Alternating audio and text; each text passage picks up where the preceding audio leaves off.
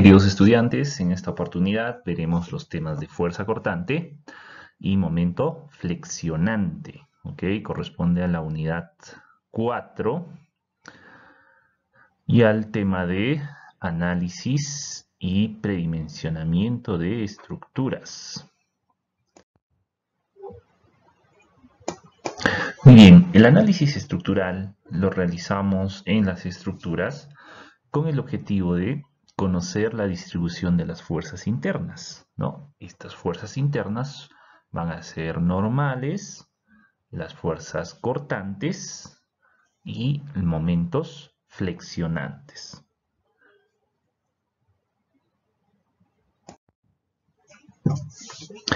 Bien, previo a realizar el análisis estructural, nosotros debemos determinar el grado de hiperestaticidad de una estructura. ¿Ok?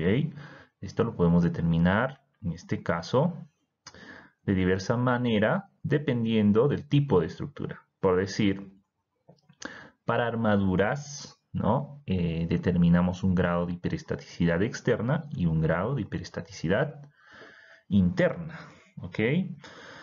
En el caso del grado de hiperestaticidad externa, lo calculamos como el número de reacciones menos el número de ecuaciones de equilibrio. Y el grado de hiperestaticidad interna lo vamos a calcular como el número de barras más el número de reacciones menos el número de nudos que hay en el sistema. En el caso de las vigas, o pórticos, nosotros podríamos determinar el grado de hiperestaticidad, en este caso como el número de reacciones, menos el número de ecuaciones de equilibrio, menos el número de rótulas. ¿Correcto? Entonces esto nos va a indicar eh, en función del grado de hiperestaticidad, en este caso si la estructura es una estructura isostática o se trata de una estructura hiperestática, ¿no? Entonces, por decir, si el grado de hiperestaticidad nos sale un valor igual a cero, estaríamos hablando de una, de una estructura isostática. Si el grado de hiperestaticidad es mayor que cero, estamos hablando de una estructura estable e hiperestática, ¿no? Pero también podrían haber casos en que el grado de hiperestaticidad es menor que cero, entonces en ese caso estaríamos ante una estructura inestable hipostática. ¿ok?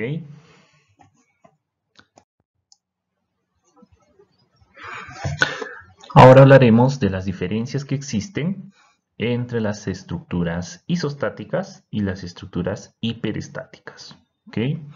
Las estructuras isostáticas, queridos estudiantes, son aquellas en las que los esfuerzos internos y fuerzas de reacción las podemos calcular únicamente empleando las ecuaciones de equilibrio. Recordemos que las ecuaciones de equilibrio son tres, ¿no? La primera es sumatoria de fuerzas en la dirección X es igual a cero. La segunda es sumatoria de fuerzas en la dirección Y es igual a cero y sumatoria de momentos es igual a cero. Esas son las tres ecuaciones de equilibrio. En el caso de las estructuras hiperestáticas, en este caso, son aquellas en las que los esfuerzos internos y fuerzas de reacción no las podemos calcular únicamente con las ecuaciones de equilibrio. En este caso tendremos que apelar a otros métodos para poder eh, determinar, en este caso, los esfuerzos internos y las fuerzas de reacción.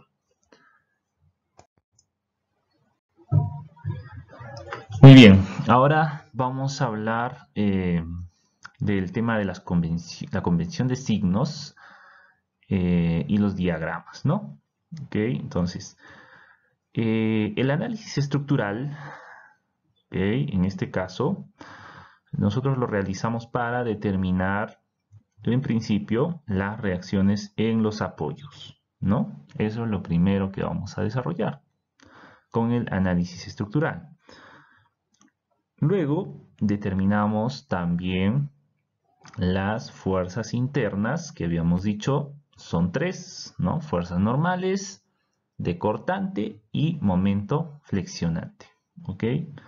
Entonces, eh, en este caso, las fuerzas normales que van hacia la derecha van a ser positivas y las que van hacia la izquierda negativas. Esa es la convención de signos para las fuerzas normales.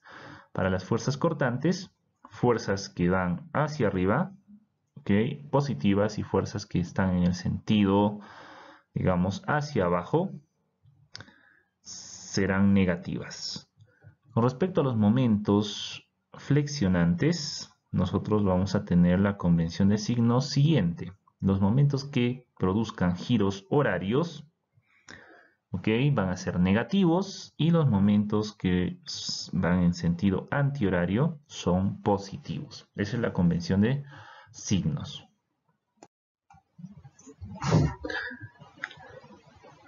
Lo que estamos viendo en imágenes, en este caso, son los diagramas para las fuerzas normales, para las fuerzas cortantes y los momentos flexionantes. Entonces, en el caso de los normales, de las fuerzas normales, los diagramas positivos ¿no? se dibujan arriba de la línea de referencia. ¿ok? En el caso de las fuerzas cortantes, fuerzas cortantes positivas se dibujan hacia arriba de la línea de referencia y negativas hacia abajo. En el caso de, eh, los momentos flexionantes, los momentos ah, negativos se dibujan hacia arriba de la línea de referencia, ¿no? Y los momentos positivos se dibujan hacia abajo de la línea de referencia.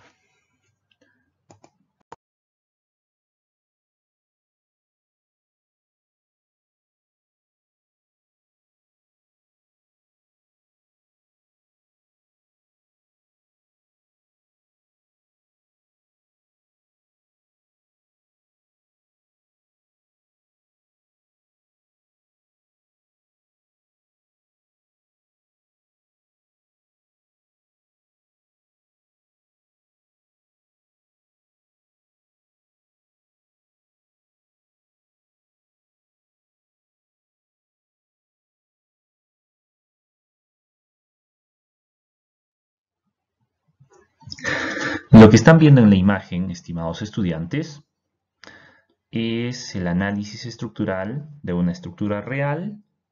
Es algo que se realiza, en este caso, previo al diseño de los elementos estructurales. En esta oportunidad lo que estamos viendo son los diagramas de momento flector, los valores de los momentos máximos positivos, con el que, que se calcula, por decir, el área de acero requerido en esa zona. ¿Ok?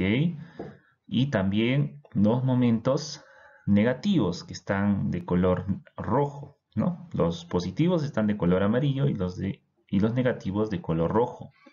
¿Ok? Entonces, con esos momentos es que se realiza el diseño por flexión de esta viga, ¿no? De las vigas. Y también tenemos momentos en este caso en las columnas.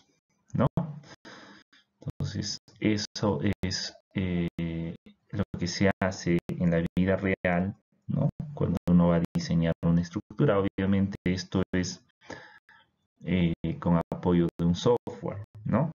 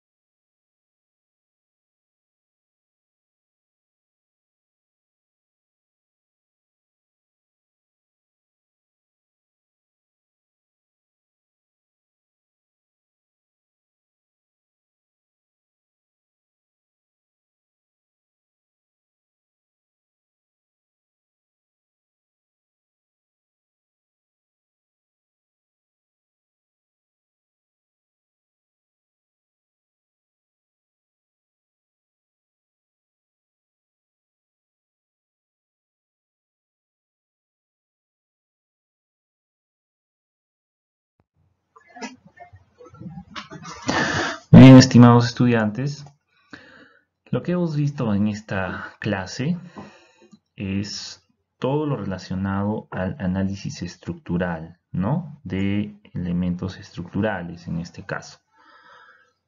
El análisis estructural hemos dicho que se realiza con el objetivo de conocer las fuerzas de reacción en un determinado elemento estructural y también las fuerzas internas que podían ser, hemos dicho, eh, fuerzas normales, fuerzas cortantes y momentos friccionantes.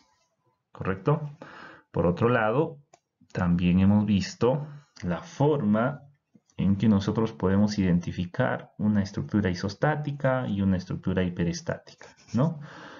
Básicamente era a través de unas expresiones donde podíamos determinar el grado de hiperestaticidad y decíamos que si el grado de hiperestaticidad es igual a cero, se trata de una estructura isostática. Si el grado de hiperestaticidad es mayor que cero, se trata de una estructura hiperestática y también se podría presentar el caso de una estructura hipostática cuando el grado de hiperestaticidad es menor igual que 0. Lo que hemos visto también es el tema de la diferencia que existe entre una estructura isostática y una hiperestática. La diferencia básicamente radica en que las isostáticas podemos resolverlas únicamente empleando las ecuaciones de equilibrio, ¿no? Con las estructuras hiperestáticas no pasa eso. Nosotros debemos hacer uso de otros métodos para poder resolver, en este caso, o para poder realizar el análisis estructural de ese elemento hiperestático, ¿correcto? Por otro lado, también hemos visto que existen convención de signos, ¿no? Hemos visto que las fuerzas normales que van hacia la derecha son positivas, las que van hacia la izquierda son negativas.